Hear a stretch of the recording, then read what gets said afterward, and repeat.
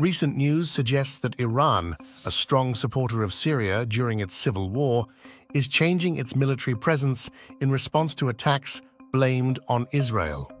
Based on information from a source linked to Iran's ally Hezbollah, Iran has pulled its troops out of southern Syria, including places like Quneitra and Daraa, near the Golan Heights held by Israel. This move seems to be a reaction to Israel's targeted attacks on Iranian leaders. Even though Iran has reduced its presence in southern Syria, it still has important positions in other parts of the country. Iran is still committed to supporting Syria's government, but it's changing how it does so. This change shows how complicated the situation is in Syria, where different countries compete for power and influence. Iran's adjustments will affect not only Syria, but also the whole Middle East, changing how the conflict unfolds. The situation in Syria shows how many different interests and alliances are involved in the region's politics.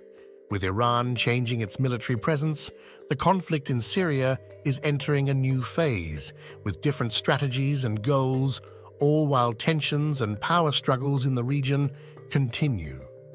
Recent events in Syria show that the conflict is getting more intense, especially regarding Iran's military presence and Israel's actions. Israel has been attacking Iranian targets in Syria, leading Iran to change its strategy there. One of the recent attacks happened on April 1st, destroying what Iran said was a consulate in Damascus and killing seven Revolutionary Guards, including two generals. This led to Iran launching its own missile and drone attack on Israel on April 13, 14, making tensions in the region worse. In response, Israel reportedly attacked an Iranian air defense unit in Iran. But Iran had already started changing its strategy before these events.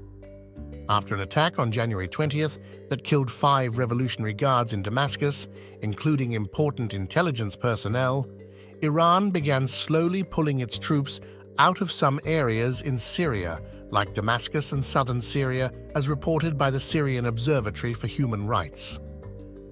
After Iran reduced its forces, fighters from Lebanon and Iraq who support Iran have taken over the positions left by Iranian troops. This shows a change in strategy within the conflict in Syria. Despite Iran saying it only gives advice in Syria, there are still a lot of Iranian soldiers there, along with fighters from Lebanon, Iraq, and Afghanistan. This situation shows how complicated the alliances and rivalries are in the Syrian conflict. Iran's changes in its presence are a response to tensions and attacks. As Iran moves its troops around, the effects of these changes spread across the region, affecting the bigger political picture and making tensions worse. What's happening in Syria reminds us that the region is very unstable, with different groups competing for power and influence. As Iran changes how it's involved in the conflict, it's hard to predict what will happen next, but it will definitely affect the stability and safety of the region.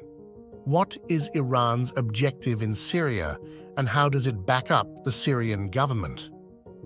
Iran's involvement in Syria is multifaceted and extends across various domains, including military, political, and economic support to the Assad regime. Here's a breakdown of Iran's presence in Syria with some data. Military support.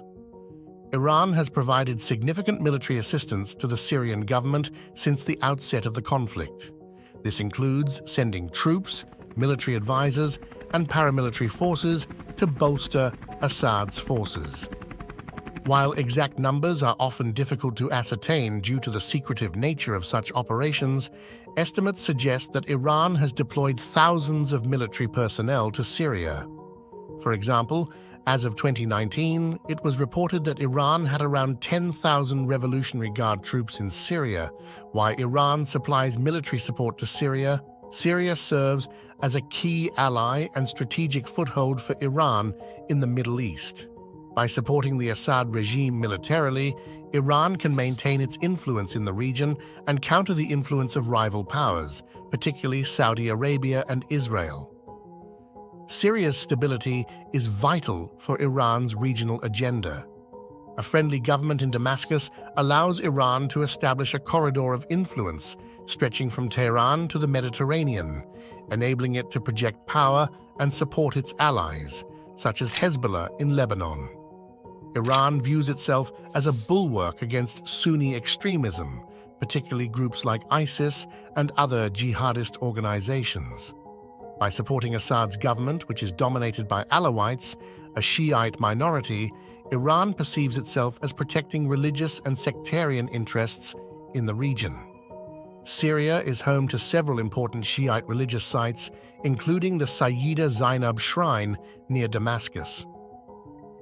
Iran sees protecting these sites as a religious obligation and a means of rallying support among Shiite communities both in Syria and abroad. Iran views Syria as part of its broader strategy to deter Israeli aggression by maintaining a military presence in Syria and supporting proxy militias like Hezbollah, Iran aims to create a deterrent against potential Israeli attacks on Iranian interests. What is the origin of the Syrian civil war and how did it start? The Syrian civil war has been a devastating conflict that began in 2011 as a popular uprising against the authoritarian government of President Bashar al-Assad. Over the years, it has evolved into a multifaceted and complex conflict involving multiple factions with their own interests and goals. These include the Assad regime, supported by Russia, Iran, and other allies, which seeks to maintain power through any means necessary. There's also the Syrian opposition, comprising various groups seeking to overthrow the Assad regime and establish a democratic government.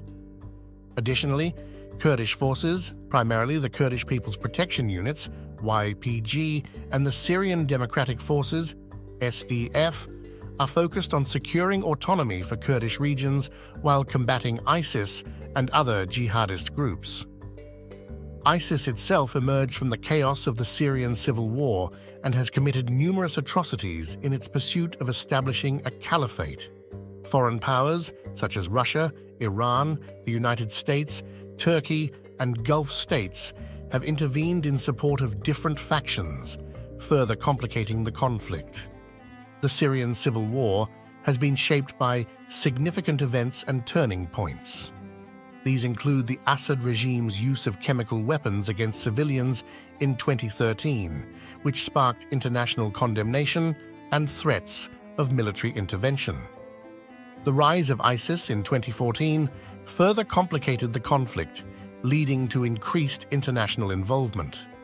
Russia's intervention in support of the Assad regime in 2015 shifted the balance of power in the government's favor. The siege of Aleppo in 2016 was a pivotal moment that saw the regime and its allies capture the city, dealing a significant blow to the opposition. The US decision to withdraw troops from Syria in 2019 effectively ceded control of parts of the country to the Assad regime and its allies. Additionally, the humanitarian crisis resulting from the conflict has been severe, with millions of Syrians forced to flee their homes and seek refuge in neighboring countries. According to the United Nations, over 13 million Syrians require humanitarian assistance and over 6 million are internally displaced. The war has also caused extensive damage to infrastructure, including hospitals, schools, and other essential services. What are your thoughts about the Syrian civil war?